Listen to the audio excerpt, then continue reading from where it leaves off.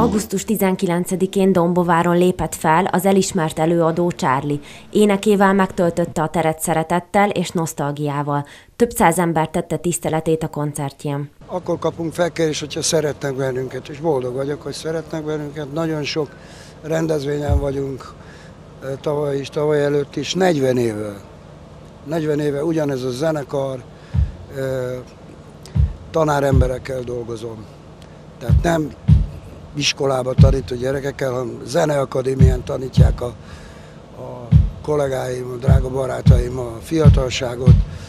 E, e, túlzásokon nem akarok vele menni, de mi vagyunk a legjobb zenekar. Én magamról nem beszélek, nekem kell elvinni a balhét, én éneklem a dalokat, egy rendkívüli zenekarral dolgozom, úgyhogy e, köszönjük szépen a meghívást. A dalaival kapcsolatban így vélekedett. Mindegyik más. Ami ballada, az ballada. Ami szólós, funkis, bluesos. Tehát én minden evő vagyok, úgyhogy mindegyiket kell, hogy szeressem, és én olyat nem éneklek, amit én nem szeretek. Charlie már régóta énekel, és megszámlálhatatlan koncerten van túl.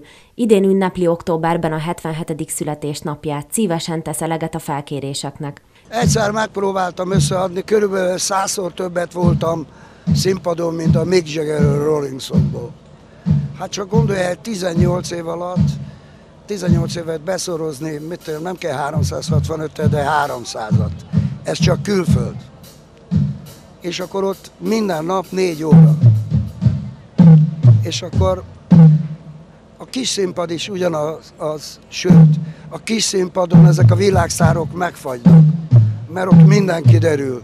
Tehát a nagy színpad és fények és minden, ott az is, egy, az is egy érdekes dolog, mert nagyon sokat csináltam. Most persze a 77-es aréna koncertem, ez a 30 nekem itt Budapesten, vagy hát az országban ez a nagy koncert, meg a kis stadion, a Tabán, ezek, ezek a nagy dolgok.